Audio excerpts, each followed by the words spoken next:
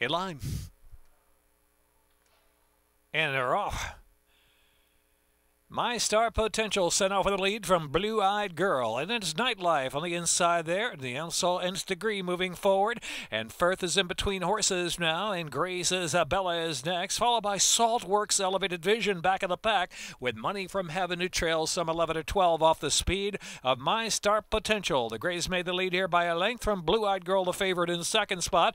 Length and a half more. Nightlife on the outside. Nth Degree out of the rail. Firth is in between horses, charging past that half mile pole.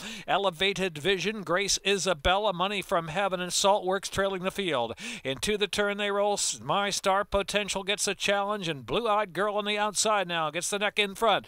Nightlife is right there keeping paces. Moved to second. It was a sharp opening quarter, 22.21. They moved to the top of the stretch, the half in 45.32.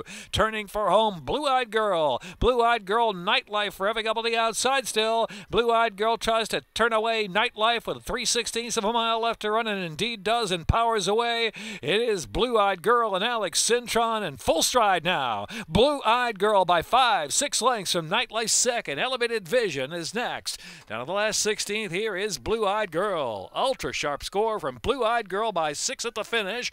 Nightlife in the photo there with Elevated Vision. Then it was Firth or Money from Heaven.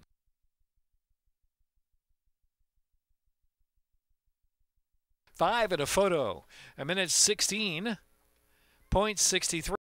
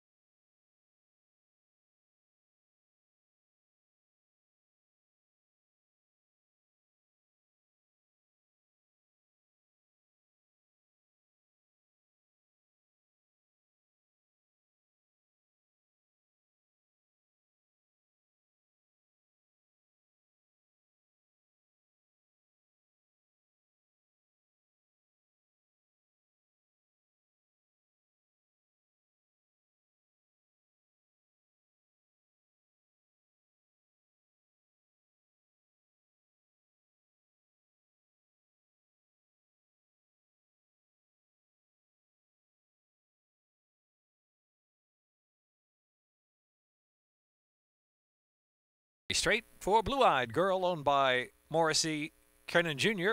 and MZ Racing Partnership. Winning trainer Marcos Zulueta. Alex Cintron aboard the four year old Bay Filly by Super Saver. Out of the Awesome Again mare Tessa Blue. Bred in Kentucky by W. Bruce Lunsford. Time minute 16.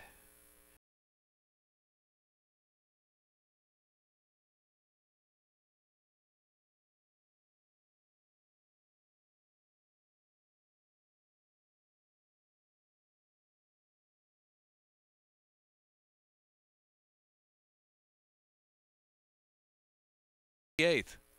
Seventh race at one mile, second finish line. 22 to post.